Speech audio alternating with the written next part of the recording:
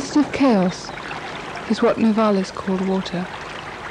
That unformed substance, ready to take on shape and give birth to everything.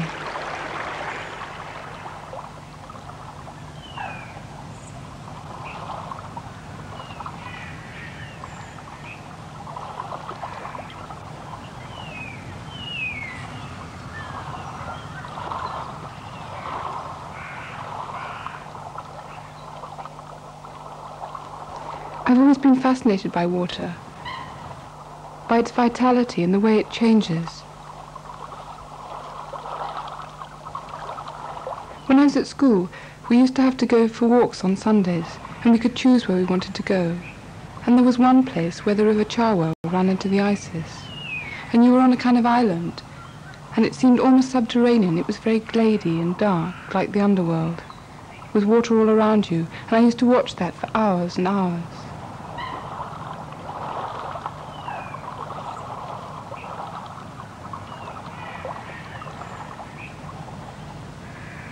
It made me wonder what all those creation myths meant. How could everything come out of water? What did it mean that the earth was without form and void, and the Spirit of God moved upon the face of the waters and divided them?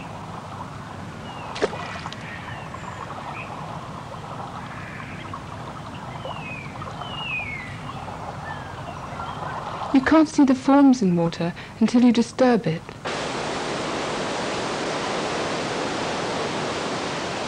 Any initial impulse, like this flow rushing into calmer waters, gives rise to form. For the resistance causes the flow to turn back on itself, creating a kind of mushroom shape. When water flows past something that resists it, like a stone or a post sticking out of the water, forms are created, like this rhythmic chain of vortices. Each spiraling vortex is an entity independent from the flow, with its own characteristics of rhythm and speed.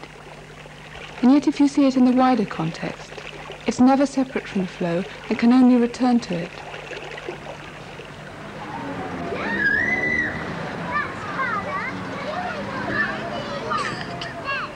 Our growth from childhood is like a spiral. We explore the world around us in ever increasing windings as our confidence grows, slowly transforming the unknown to the known, chaos into cosmos.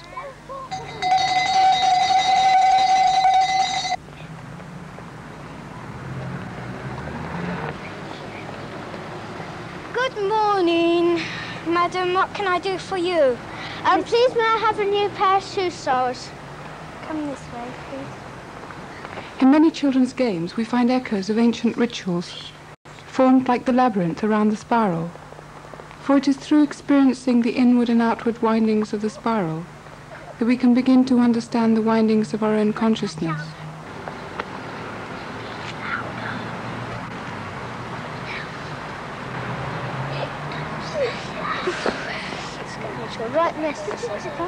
This game, The Shoemaker, enacts the spiral journey of the dead in his search for a new soul, and his return path where he's chased back to earth.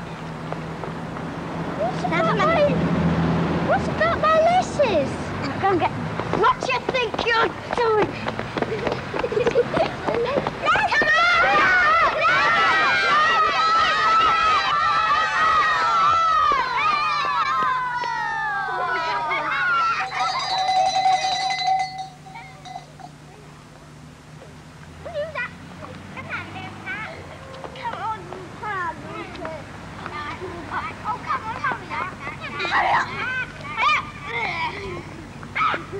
Yes, madam. What could I do for you? Well, I'd love a new shoe sole on my, on my shoe, please, because it gets on my nerves. You see, I've got a hole, and when I rain, when it's raining, it gets on my nerves All so right, much. come this way, please. Thank you.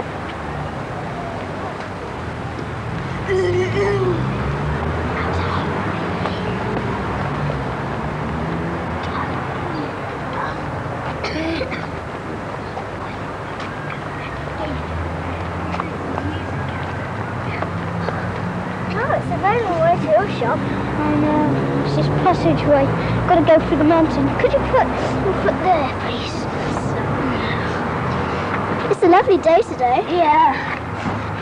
sunflowers will be coming out soon. Yeah. Look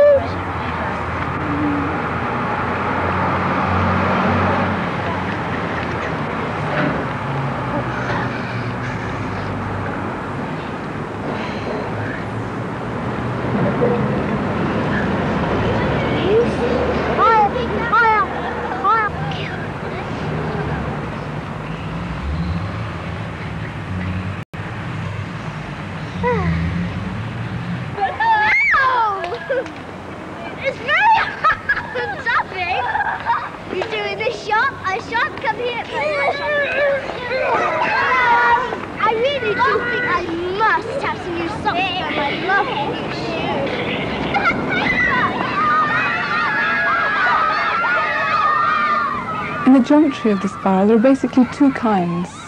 One is the Archimedean spiral, and the other is the logarithmic spiral. And the difference between the two is the speed. One is constant, like this, like a coiled rope, and the other is dynamic and increasing, like this. And that's the logarithmic spiral. And what determines the kind of spiral is the speed with which this point moves out and the speed with which it revolves. And with an Archimedean spiral, these two speeds are constant, so that you get something which looks like this.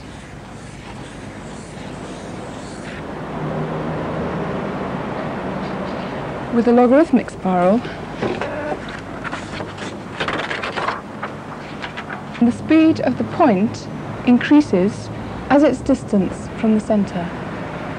And this is what distinguishes the two. We see it in the growth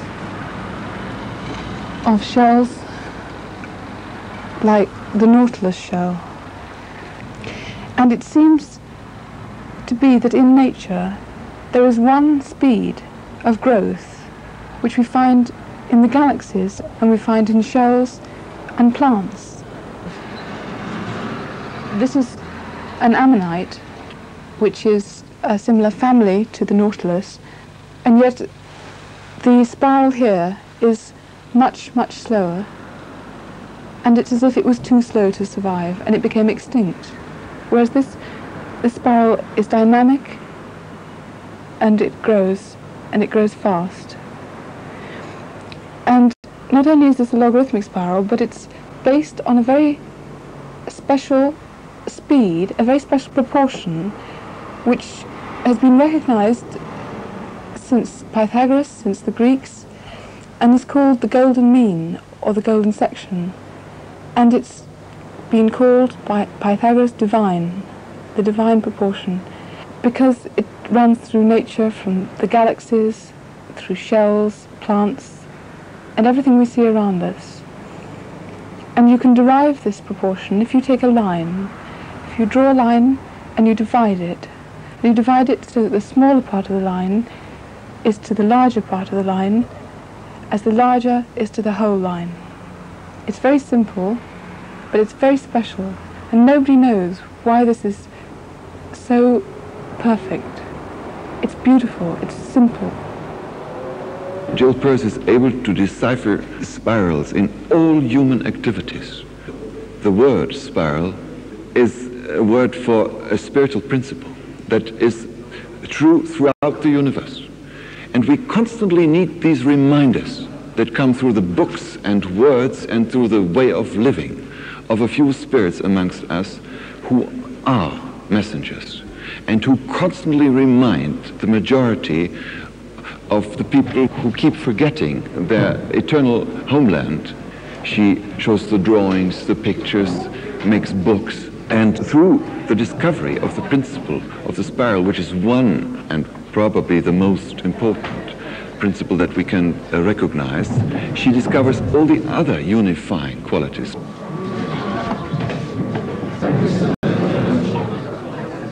The only descriptions that we really have of the creation are those that we find in the mythological traditions and in the scriptures. modern science has not been able to come up with any satisfactory description of how we come into being from nothingness.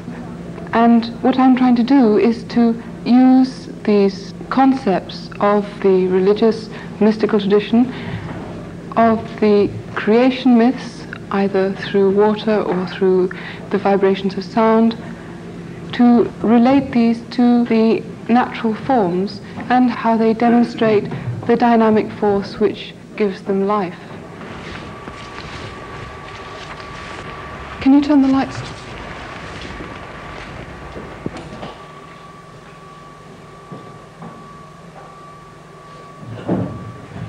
As far as we know, the largest structures in the universe are the galaxies, huge glowing Catherine wheels of dust, gas and stars. To the naked eye, these galaxies appear as milky patches just faintly visible.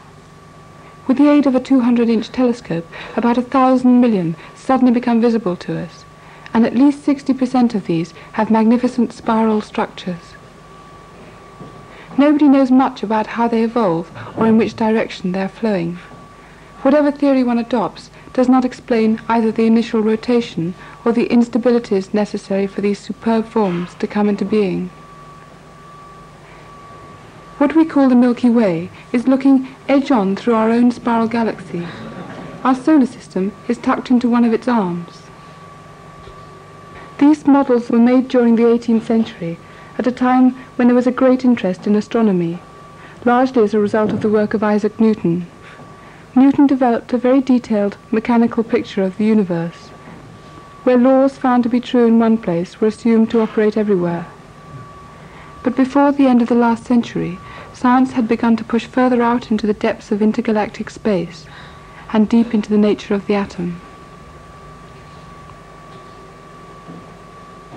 Modern physics has had a profound influence on general philosophical thought because it has revealed an unsuspected limitation of classical ideas and has forced us to revise many of our basic concepts in an essential way. For instance, the concept of matter or the concept of space and of time or of cause and effect. All these concepts are totally different in modern physics and with their drastic transformation our whole view of the world has begun to change. Now these changes of our basic concepts all seem to go in the same direction towards a view of the world which is very similar to the views held by mystics of all ages and traditions. I've made this photomontage to illustrate the idea of the cosmic dance, which appears in subatomic physics and in ancient Hindu mythology. The lines and curves in the picture are traced by subatomic particles in so-called bubble chambers. They bear testimony to a continual dance of creation and destruction in which all of subatomic matter is involved. It is a continual flow of energy in which patterns are formed and dissolved without end. In contrast to the classical mechanistic or Newtonian worldview, the view of the East is essentially an organic view. For the modern physicist and for the Eastern mystic, the universe appears not as a multitude of objects that are assembled into some huge machine, but rather as an interconnected cosmic web in which all things and events are interrelated, in which they form a flowing, changing, moving tissue of events. And man is an integral part of this network. It's not until we can stand back from the earth that we can see just how much we live in water. 70% of the globe's surface is covered in water. 90% of animal life is found in it, and 70% of our own bodies consist of it.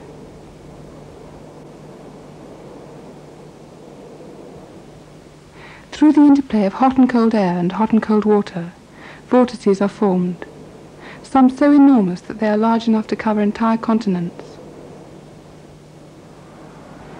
Laboratory investigations of tornadoes seem to show that they are not formed simply by a strong updraft and rotating air, as one would expect, but only when a sudden, unseen draft of cold air drops from the top of a rotating thundercloud and feeds the system. In the center of every vortex is a still point, like the crown of the head from which all the hairs radiate, or the center of the rose from which the petals unfold. Wherever the spiral appears in nature, it embodies certain very practical properties of wrapping, protection, strength, economy, of close packing, such as we see in the pine cone, and of allowing more space within less space, as in the cochlea of the ear. The form of a thing, in this case the spiral form, is the visible expression of the essence of the thing, the underlying essential nature. Take, for example, the snail shell. Here you have a particular mathematical form in the shell of great simplicity. And this is an expression of the special nature of the growth of, of the snail, that it's the simplest type of growth, purest sort of growth, without any change of shape. There are many other examples in nature of the logarithmic spiral. The sunflower is an interesting one where people have thought there was a special mystery, that the seeds in the sunflower arrange themselves in spirals round here, and the numbers of spirals, counted round this way and counted round that way, are very special numbers, like 55 and 89. And it seems very odd at first sight. Why does one not have 88 or some other number? What is it that makes these very special mathematical relationships? But when one goes into it, one can see that these arise quite naturally, this special mathematical relationship, that as the sunflower grows, the various parts, identical parts, arrange themselves in a regular way, in rather the same way that identical molecules form regular arrangement in a crystal. And the special mathematics of the sunflower is not mysterious, but is, or it is mysterious in the same sense that the special mathematics of the right-angled triangle is mysterious. Pythagoras' theorem about the sum of the squares and all that. Now, the Pythagoreans did, of course, think that this mathematics did have some special mystical aspect. But today, we find this mystical element rather elusive. The really important mysteries are on another level. They're about relating the aspect of nature one obtains through scientific thought, analytical thought and observation, to the aspects of nature one gains through art and music, mythology and religion and everyday life too. And I think that it is in approaching this more profound mystery that Jill's study of the spiral in all its various contexts has its importance. Science itself is increasingly showing that observer and observed are one, that the scientist is a participator in the world he is looking at, and an integral part of his own experiment. Science is returning us to the concept of the unity of all things. Well, gradually go red. What are the implications of this kind of? I mean, what, what are the implications in living systems? For example, the fact that that pattern could possibly be generated by, by chemical. It is rather surprising that you can get such definite structures emerging from initially homogeneous mixtures of, chemi- of reactants. And this system I mean, has been considered as a paradigm for some kind of biological development. What are the, the physical reactions that are happening here? Is there any, anything which is not purely chemical? No, pure chemistry. It's pure chemistry. Does that detract in any way from it? No, it makes it remarkable.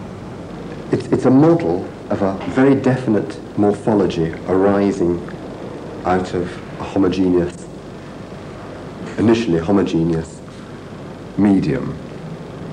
For example, one of the outstanding problems in developmental biology is how pattern emerges from the embryo.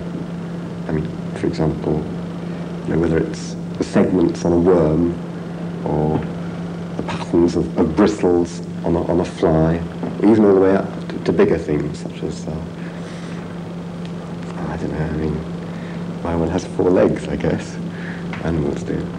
So really what we're seeing is the appearance, the emergence of order out of out of nothing or out of chaos or It's not chaos, it's not nothing, I mean, it's something, it's emerging. it's something which which is has no apparent order. Any kind of order which one sees, I think, is always rather surprising. Why? I mean because you don't think that the universe is basically intelligible and basically It's surprising that it is, I think. Or perhaps it isn't, I don't know. Surely it would be very surprising if it if it wasn't intelligible, if it wasn't ordered and and and comprehensible. And Maybe it's, it's surprising that the same forms keep reappearing. surely these forms go right through all the different levels and also in, through the levels of our own consciousness. And this has to do with why we actually see these forms, because we only see what we what we're able to see in a sense, so that our minds actually structure what we see, and are structured by the overall order. Familiarity breeds what we see, but whether it breeds contempt as well. When you see order in something, I mean, if you recognize it, you recognize something which you're familiar with and which you are. So if you see if you see order in something like this, you're recognizing something which is in yourself, which is in your own mind or in your own organization. It's a recognition. It may just, for me, generate excitement. But that is excitement is recognition. I just call it excitement.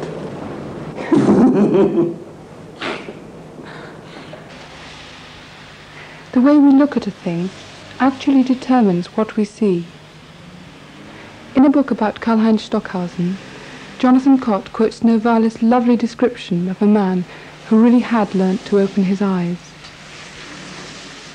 He watched the stars and imitated their courses and positions in the sand. Into the ocean of the air he gazed incessantly, and never tired of observing its clearness, its movements, its clouds, its illuminations. To men and animals he gave his attention. On the shores of the sea he sat and looked for shells. To his own heart and thoughts he listened intently. He discovered familiar patterns everywhere, and in this way often the strangest objects fell into order in his mind. He heard, saw, touched and thought all at the same moment. He loved to bring strangers together. Now stars were men to him, now men were stars.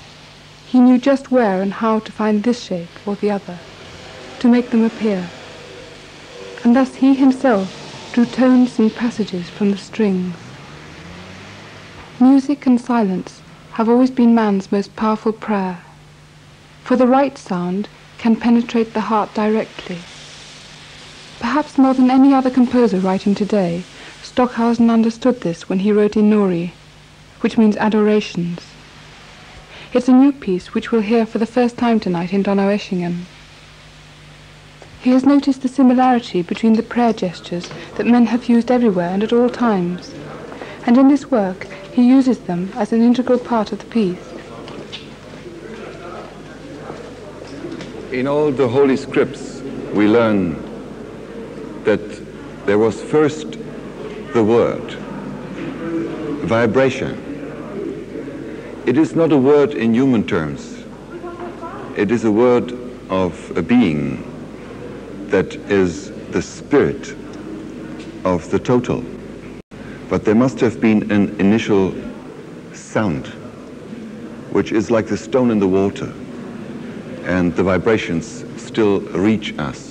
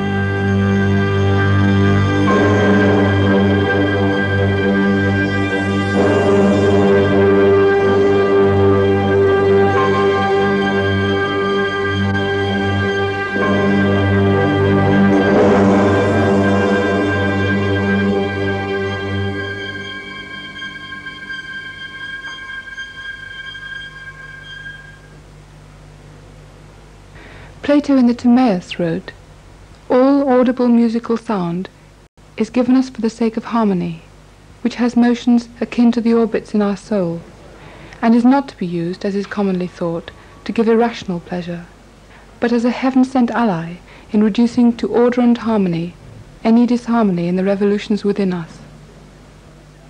Surrounded by the chaos of her writhing snakes, the face of Medusa expresses the pain and confusion of a life without order.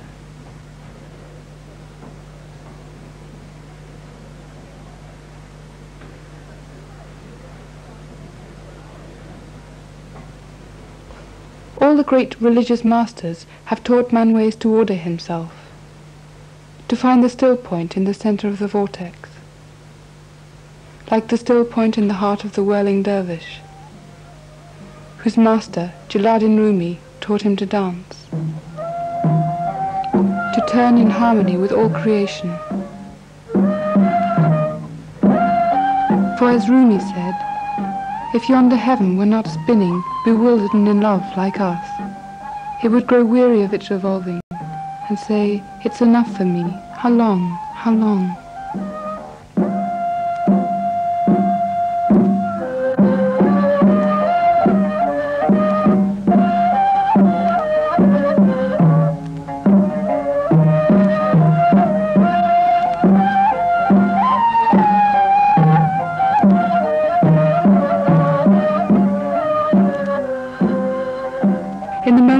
Ecstasy, his arms outstretched, his skirt expanded, he becomes the perfect man, who links heaven and earth through order and proportion, and stands between the two. The caduceus, or staff of Mercury, has always been a symbol of healing in its true sense as holing, unfolding the subtle energies, integrating and balancing the psychological processes within us. Great courage is needed even to begin to unravel the self, and the attitude needed is like that of a warrior.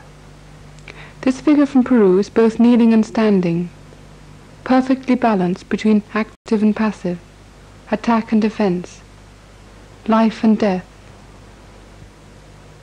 The journey which St. George points out to us takes us down into those areas of ourselves we don't understand and find hard to accept. For the real hero is the man who has come to terms with himself, all of himself, brought each part together as a well-balanced whole. Man has always pictured this journey as a maze, and the maze as a model of himself. The oldest labyrinths go back almost 4,000 years. This one, already much later, was found when they uncovered Pompeii. Entering the maze is like deciding to take your life into your own hands, becoming responsible for yourself. Until then, you followed your old habits and desires. But now you must find a new sense of direction. For the old one will only confuse you. In the labyrinth, we become responsible through choice which confronts us at every moment.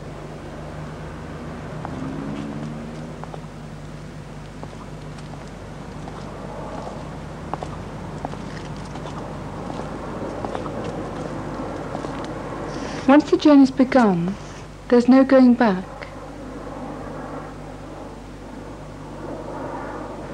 Going back is as hard as going on.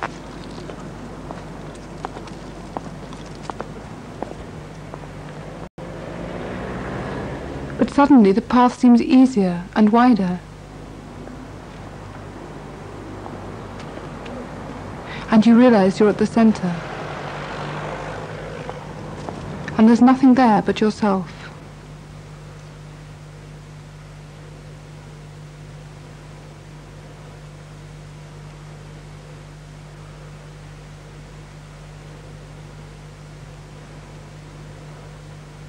Jesus, who stands at the center, the pivot of the universe, led his disciples in a hymn to the Father, and the words of St. John reverberated as they danced. And we all circled round him and responded to him, Amen. The twelfth of the numbers paces the round aloft, Amen. To each and all it is given to dance, Amen.